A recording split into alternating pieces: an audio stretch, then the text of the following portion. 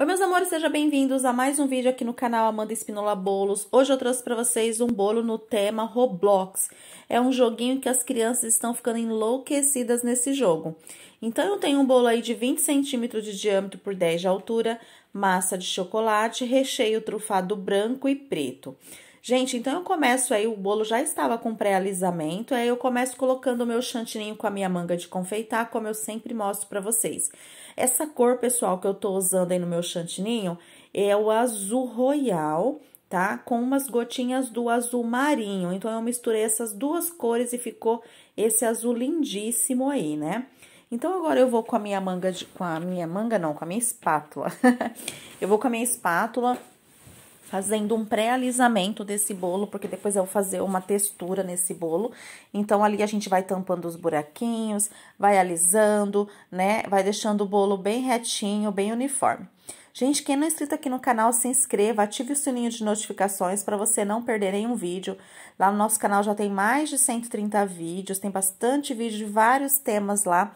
E vai ter muitos vídeos essa semana bem bonito aqui de bolo. Então, vale a pena você se inscrever e ativar o sininho, tá bom? Ali, pessoal, eu vou retirando as minhas quinas, né? Pra depois começar a fazer ali a minha textura. A textura eu vou fazer com a minha faca de cortar pão, tá? Simplesmente apoio ela no meu bolo, bem retinha, tá? Vou girando a bailarina e vai fazendo essas ranhuras bem bonita em cima do meu bolo. A gente passa, pessoal, quantas vezes for necessário. Às vezes ali, ó, tem uma falha, tá vendo? Aí a gente vai coloca mais chantilly, chantininho no meu caso, né? Aonde tem falha, porque é porque tá mais fundinho ali o chantilly. Então, a gente coloca ali, eu acabei de estourar uma pequena bolinha, coloquei mais chantilly e passo novamente a faca ali até deixar umas ranhuras bem bonitas, tá? Você viu, eu só apoiei ela ali e fui girando a bailarina. E na parte de cima, eu vou pegar essa minha pequena espátula, você pode fazer isso com uma colher também, tá? Uma colher de café. E aí, você apoia no bolo e vai girando a bailarina e vai fazendo esse caracol bem bonito na parte de cima do meu bolo, tá bom? Depois, pessoal, ali na parte de baixo, eu peguei o meu, chantil, o meu chantininho, coloquei umas gotinhas do preto, tá? Pra ficar esse tom cinza.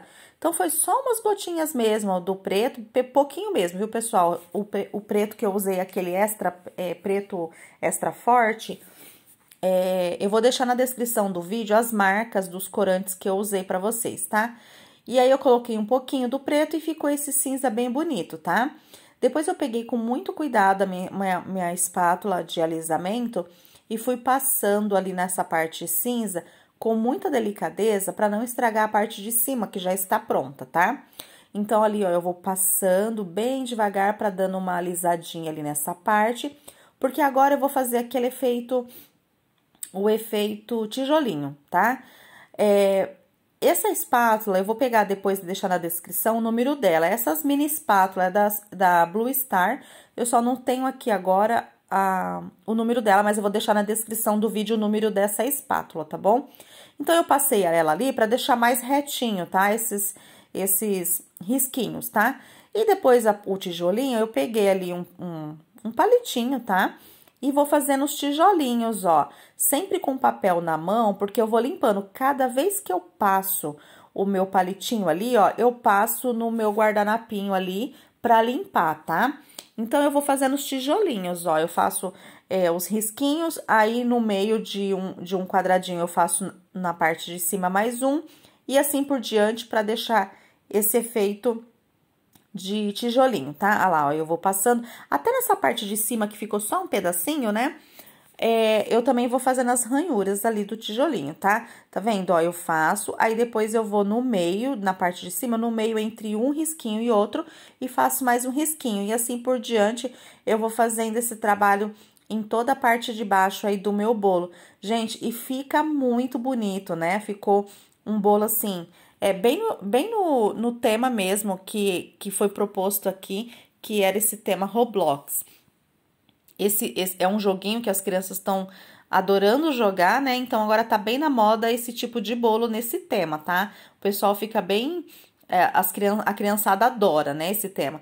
Depois, pessoal, eu coloquei o topper, né, no tema, e olha que lindo que ficou é, esse bolo com esse topper, olha. É, e aí deu todo um charme total pro bolo, né? Pessoal, esse foi o resultado do nosso bolo. Espero muito que vocês tenham gostado de mais essa decoração aqui no canal. Um grande beijo, fiquem com Deus e até o próximo vídeo, pessoal. Tchau!